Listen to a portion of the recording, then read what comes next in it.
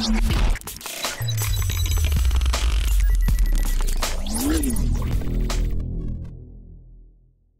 going on guys? Off the Brink TV here bringing you another video. So I wanted to do an impressions or I guess a little bit of a review on Metal Gear Solid's fifth installment, The Phantom Pain, and why I think it's worth you either considering or going to pick it up if you haven't already. It's really shaping up to be one of my favorite games, so let's get into it.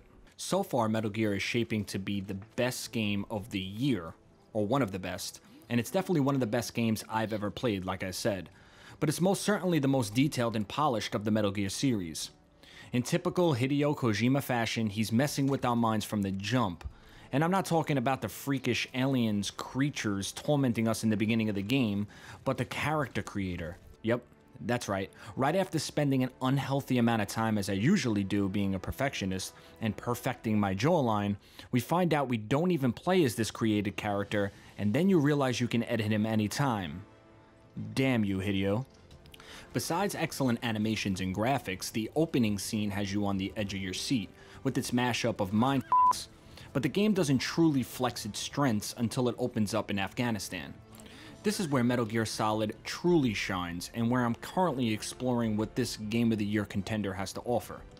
Everything from customizing your base, your helicopter, upgrading your arsenal, selecting your loadout, recruiting soldiers you just choked out, all the way to saving puppies, it would be easier to find something you can't do in this game, and boxes are back. Yep.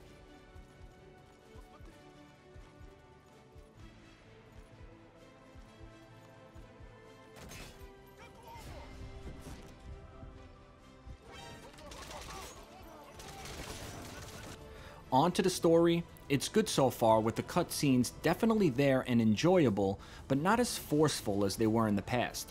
I don't feel like I'm sitting through something drawn out instead of playing, and once I'm in the open world, it gets even better.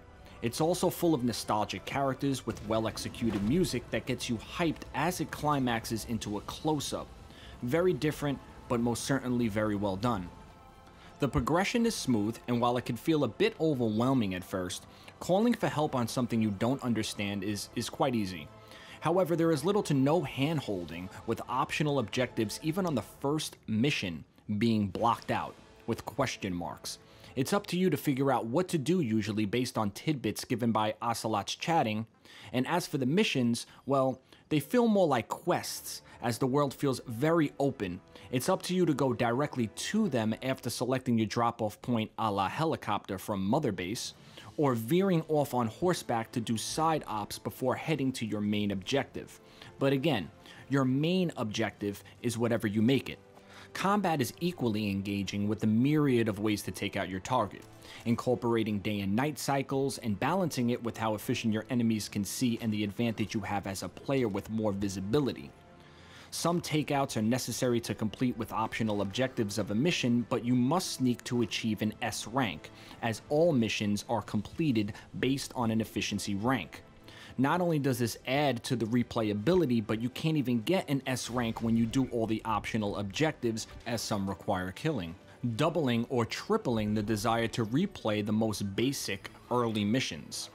Sneak carefully and wipe out the militia, snipe from afar with the silencer, knock them out with the silenced sleep dart pistol, go in guns blazing, or choke out your enemy interrogating them for other enemy locations, the location of some goods, and or the location of a mission objective.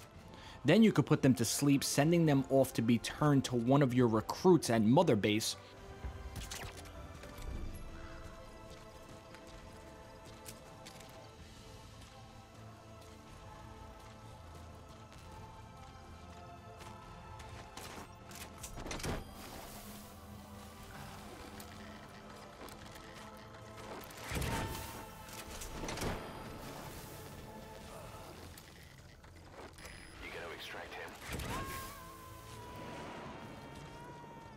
or you could just snap his neck for quick gratification.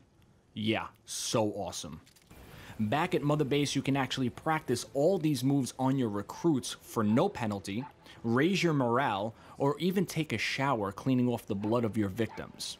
Yeah, this game has it all, and it's definitely worth the purchase without a doubt.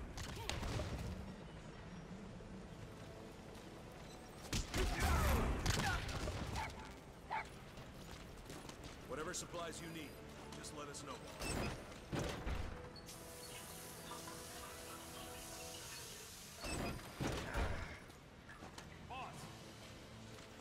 So that's about it, guys. Thanks for watching. I hope you liked my impressions of Metal Gear Solid 5. If you haven't picked it up, hopefully this video helped you decide whether or not. And if you already have the game and you want to share your opinions or your review, definitely put in the comment box as well. If you like videos like this and you want to see more, let me know what game you would maybe like me to review or talk about or give my impressions about. And I'll definitely considering uh, doing it for a next video. I know this is a little bit of a new series or a new thing I'm doing with the game. So, you know, the more feedback, the better. And you know, as always, hit that like button, go crazy on it because it really helps me out more than you think. I know I say that a lot, but it really does. And hit that red subscribe button if it's your first time here. And as always, I'll catch you all in the next one. Peace.